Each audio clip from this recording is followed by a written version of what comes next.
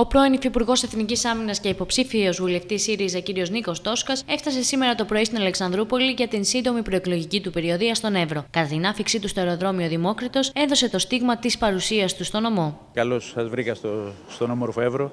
Ε, ήρθαμε να υποστηρίξουμε τους υποψηφίους μας εδώ του, του ΣΥΡΙΖΑ που δίνουν τον αγώνα και είναι κοντά στον κόσμο του Εύρου και στους ανθρώπους του μόχθου του Εύρου.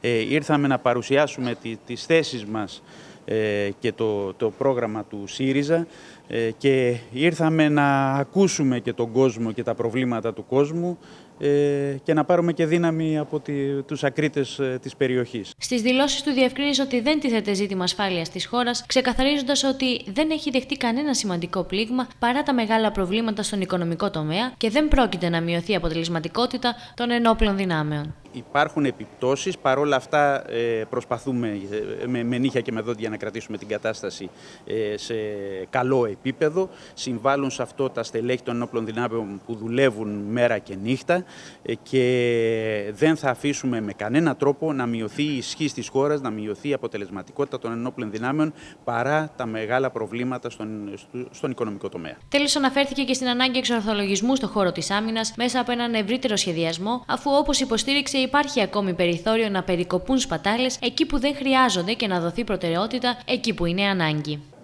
Είναι πολλά τα προβλήματα που ε, βρήκαμε στα θέματα της άμυνας. Όπως καταλαβαίνετε αυτά δεν μπορούμε να βγούμε να τα πούμε προς τα έξω.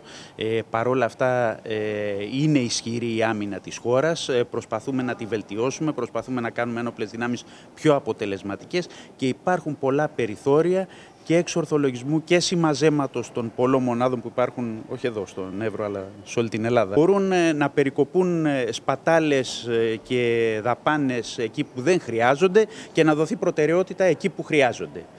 Και ειδικά στις περιοχές που υπάρχει απόλυτη ανάγκη για σοβαρή και ισχυρή άμυνα, που αυτές είναι φυσικά η Θράκη και τα νησιά του Ανατολικού Αιγαίου. Εμείς θα προσπαθήσουμε να δώσουμε το βάρος σε αυτές τις περιοχές ε, και να απομειώσουμε, να, να μειώσουμε τις ε, μονάδες και τα στρατόπεδα εκεί που δεν χρειάζονται. Ο κύριος Τόσκας πραγματοποίησε στη συνέχεια επίσκεψη στην περιοχή του Τυχερού και το απόγευμα συνέχισε στο Βόρειο Εύρο, όπου πραγματοποίησε ομιλία στην Ορεστιάδα με θέμα το κυβερνητικό πρόγραμμα του ΣΥΡΙΖΑ για την ανασυγκρότηση της χώρας.